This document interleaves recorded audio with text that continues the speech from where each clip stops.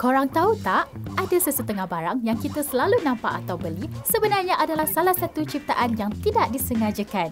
Mesti tak terfikirkan macam mana barang tu boleh dicipta? Jom tengok senarai yang kami pilih dan kisah menarik di sebaliknya.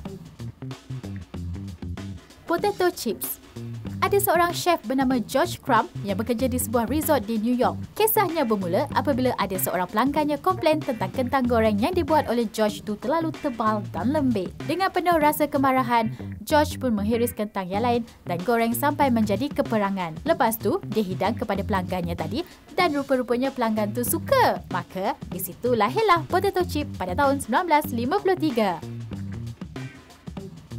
Post It Not pada 1968 bermula dengan saintis di syarikat 3M iaitu Dr. Spencer Silver yang membuat penyelidikan tentang pelekat yang kuat tetapi dia mendapat hasil penyelidikan yang sebaliknya dan Silver tak tahu nak buat apa dengan hasil penyelidikannya itu. Sampai satu masa, ada seorang saintis baru bernama Arthur Fry datang ke Silver dengan idea untuk membuat penanda buku yang dapat melekat dekat kertas tanpa merosakkan permukaan kertas itu. Mereka pun mencari cara untuk melekatkan gam pada sekeping kertas sehingga mereka berjaya untuk menghasilkan post-it note dan ia mula dijual pada tahun 1980. Chocolate chip cookies Rutger Wakefield merupakan seorang chef dan co-owner Toll House Inn di US pada tahun 1930. Wakefield ketika itu tengah menggaul bahan-bahan untuk membuat cookies kepada tetamunya. Sambil menggaul, Wakefield tersedar yang dia kehabisan coklat masakan untuk membuat cookies. Jadi dia memutuskan untuk memotong sepapan semi-sweet coklat Nestle dan dia berharap ia akan cair dan meresap ke dalam dough untuk dijadikan sebagai coklat cookie. Tetapi sebaliknya, apa yang keluar dari ovennya adalah the very first batch chocolate chip cookies yang dia buat. Sekaligus menjadikan Ruth Grave Wakefield sebagai salah seorang 20th century's most famous woman inventors.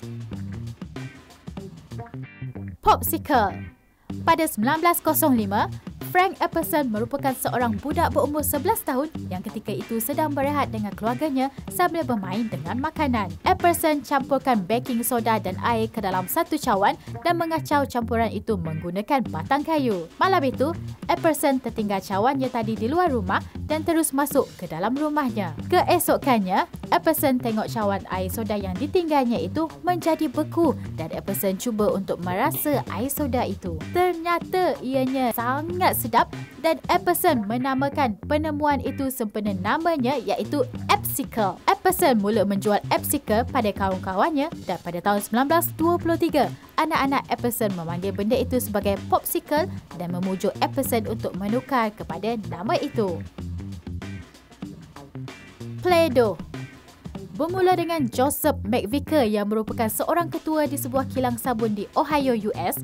Kilang itu membuat tanah liat untuk membuang kesan arang di rumah pembakar arang batu pada tahun 1950-an. Tetapi, menurut sebuah report, Orang di sana kemudian bertukar dari arang ke gas untuk memanaskan rumah mereka dan kilang yang Joseph bekerja itu menjadi bankrupt. Kakak ipar Joseph yang merupakan guru tadika memujuk Joseph untuk menjadikan produk kilangnya sebagai kraft tangan dan dia melihat sendiri reka bentuk tanah liat produknya yang dibuat oleh kanak-kanak di sekolah kakak iparnya. Joseph pun kembali ke Makmal untuk mengubah formula dan menukar semula penggunaan produknya untuk dijadikan sebagai mainan kanak-kanak dan lahirlah pledo yang bermacam-macam warna dan mula dijual pada tahun 1957.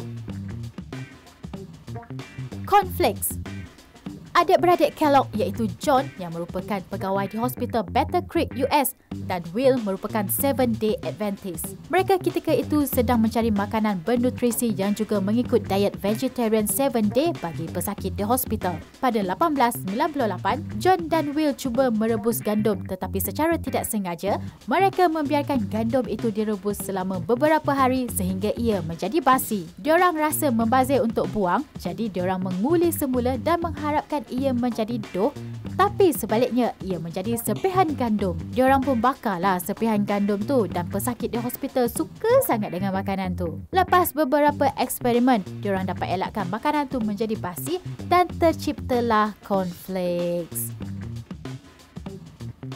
Microwave Bermula pada tahun 1946, Perry Spencer yang merupakan seorang engineer yang menjalankan projek penyelidikan berkaitan radar dengan vacuum tube baru. Masa Spencer tengah menjalankan projek penyelidikannya, gula-gula dalam poket Spencer tiba-tiba menjadi cair. Lepas tu, dia cuba buat eksperimen baru dengan menggunakan beberapa biji berteh jagung. Apabila biji berteh jagung itu mula meletup sehingga menjadi popcorn, Spencer sedar yang dia mempunyai alat revolusi yang akan membantu orang yang malas memasak masak di mana-mana saja atau pada bila-bila masa sahaja.